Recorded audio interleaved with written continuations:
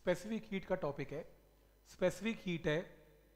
अगर मैं आपसे पूछूँ व्हाट इज़ स्पेसिफिक हीट तो बहुत लोग रटी टाइट डेफिनेशन बोलेंगे। It is amount of heat required to raise the temperature of a unit mass by unit degree Celsius या यूनिट वन केल्विन उस हीट को स्पेसिफिक हीट बोलते हैं। तो एक सिंपल लॉजिक बता देता हूँ मैं आपको।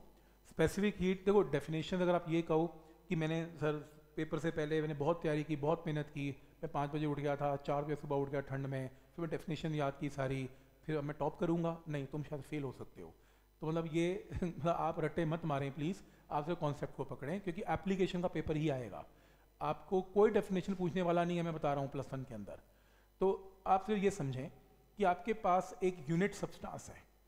यूनिट सब्सटांस वन के या वन ग्राम कुछ भी हो सकता है। इसका टेम्परेचर मान लो टेन डिग्री सेल्सियस था।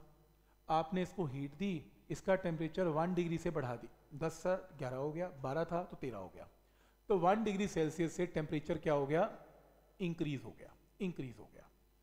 तो मैंने कितनी हीट दी?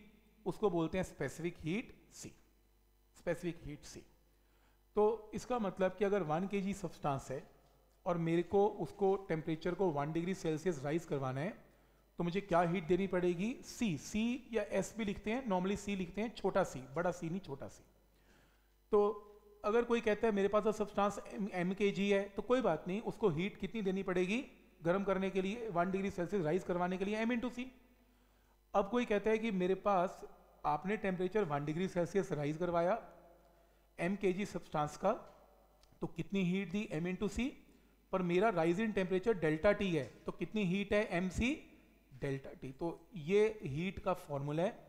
ये फॉर्मूला आप ऑलरेडी जानते हैं Q is equal to M C delta T किया हुआ है हमने। तो ये कैसे बना ये समझा रहा हूँ। तो बेसिकली कुछ नहीं है। Q is equal to M C delta T में अगर राइज इन टेम्परेचर वन है और मास भी वन है तो अमाउंट ऑफ़ हीट किसके इक्वल हो जाएगी? स्पेसिफिक हीट यहीं से डेफिनेशन बनी हुई है। क्या डेफिनेशन बनी हुई है? कि it is amount of heat required to raise the temperature of the body by one and unit mass के लिए। तो बन गई डेफिनेशन तो ये एक मैथमेटिकल डेफिनेशन को कन्वर्ट किया गया है। तो it is defined as the amount of heat required to raise the temperature of unit mass through one degree Celsius तो मैंने आपको बता दिया, डेल्टा क्यू या क्यू डेल्टा क्यू भी लिख सकते हैं कि अमाउंट ऑफ़ हीट चेंज कितना चाहिए उससे M C delta T C छोटा यूज़ करना है एम के जी या किसमें यूज़ कर सकते हैं। तो ये फॉर्मूला बनता है।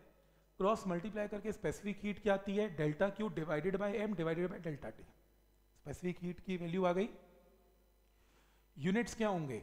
मल्टीपल यूनिट्स हैं। कोई भी बुक कैसे भी यूज़ करेगी? जैसे, अगर हीट ली जाती है कैलोरी में मास लिया जाता है ग्राम में डिग्री सेल्सियस ये पहला यूनिट है। या फिर हीट ली जाती है कैलोरी में मास लिया जाता है केजी में पर डिग्री सेल्सियस या कैलविन दूसरी यूनिट है। या फिर हीट ली जाती है जूल में मास लिया जाता है केजी में पर डिग्री सेल्सियस तीसरा यूनिट है। या फिर हीट ली जाती है जूल में मास लिया जाता है ग्राम में, पर डिग्री सेल्सियस चौथा यूनिट है, जैसे मर्ज़ी हेर फेर करते रहो, और ये क्वेश्चन में ऐसे होते ही रहते हैं हेर फेर तो आपको कॉन्सेप्ट समझ में आ रहा है किसी यूनिट है क्या? तो कोई भी यूनिट हो सकते हैं कैलोरी पर ग्राम पर डिग्री सेल्सियस जूल पर केजी पर कैलविन या पर डिग्री सेल्सियस कोई फ़र्क नहीं पड़ता उसमें। क्लियर है यहाँ तक? वो मर्ज़ी है, कोई स्पेसिफिक हीट कैलोरी में दे या जूल में दे, वो उसकी पूछने की मर्ज़ी है।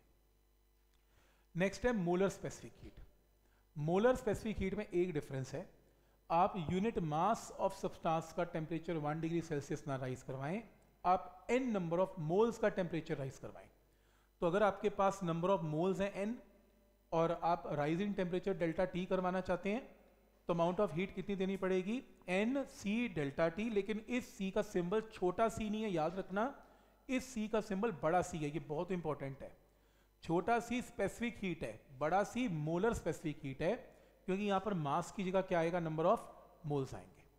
तो अगर आप इसकी यूनिट की बात करते हो तो यूनिट में कैलोरी पर मोल आएगा केजी नहीं आएगा कैलोरी पर मोल पर डिग्री सेल्सियस या जूल पर मोल पर डिग्री सेल्सियस तो यहाँ पर मोल्स है।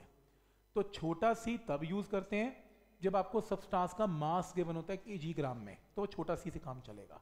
अगर मोल्स हैं तो फिर बड़ा सी चाहिए होगा मोलर स्पेसिफिक हीट चाहिए होगी तो मोलर स्पेसिफिक हीट आपको गिवन होगी।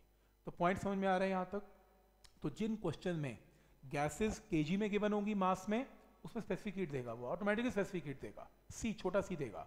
पर अगर वो मोल्स दे रहा है गैस के, फिर वो मोलर स्पेसिफिक हीट देगा, फिर वो स्पेसिफिक हीट नहीं देगा। तो क्वेश्चन पूछने वाला ऑटोमेटिकली आपको वही देता है जो रिक्वायरमेंट होती है। और आपको डिफरेंस समझ में आ रहा है यहाँ तक? ठीक?